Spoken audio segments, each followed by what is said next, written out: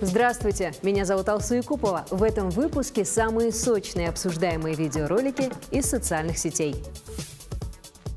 Водитель и пассажирка иномарки пострадали, врезавшись в столб Казани. ДТП произошло на пересечении улиц Кулахметова и Усманова.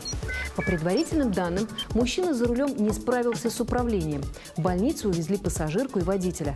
Кроме того, кусок от повредившейся машины отлетел в каршеринговый автомобиль и оставил царапины.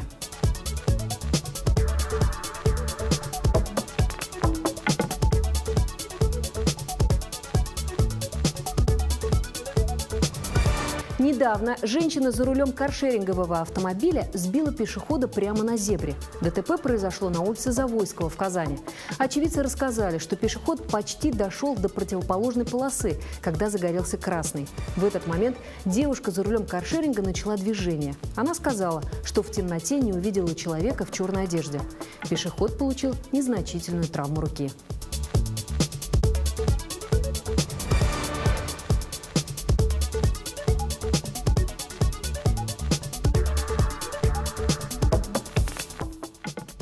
Как научить собаку лаять по команде, посмотрим в следующем сюжете. Обычно команда «Голос» – полезный навык, который прежде всего необходим животным, занятым в караульной, поисково-спасательной и других видов служб.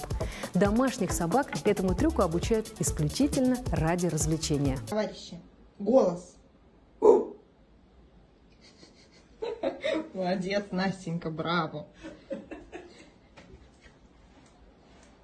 Сидеть. Хорошо, молодец. Малик, голос.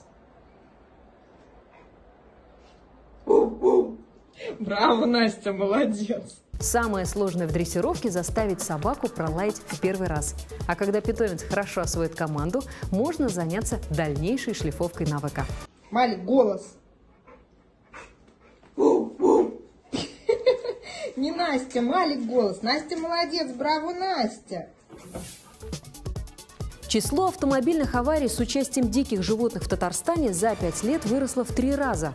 Если в 2017 году было зафиксировано всего 48 случаев, то в прошлом году уже 150. За 8 месяцев этого года зарегистрировано 105 случаев наезда на диких животных. За год под колесами автомашин погибло 59 лосей, 31 косуля и 16 кабанов.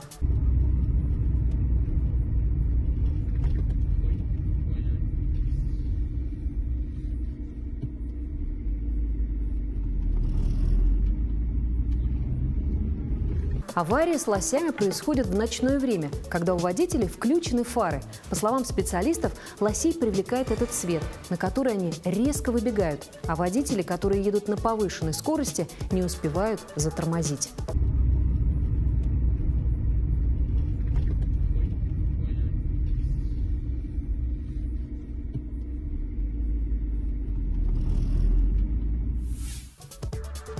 Казанском поселке Высокая гора автомобилисты показали пример взаимовыручки.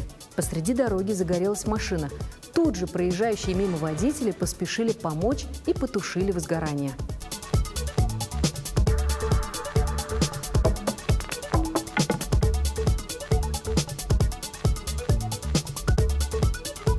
Причиной пожара в автомобиле во время движения может быть короткое замыкание электропроводки. При попытке потушить огонь нельзя поднимать крышку капота, открывая доступ к свежему воздуху. Лучше это делать вдвоем. Один человек поднимает крышку, второй с приготовленным заранее огнетушителем тушит.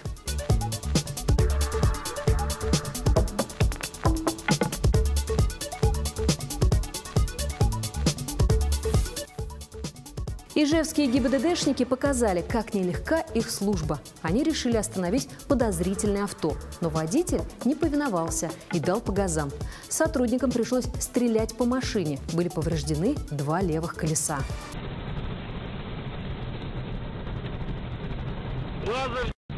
Колесо пробил, двигайся по Юкраменской трассе.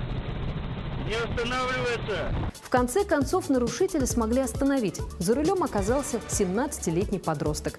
Трезвый, но очень самоуверенный. На этом все. Это были самые обсуждаемые видеоролики из социальных сетей. До встречи на телеканале «Татарстан-24».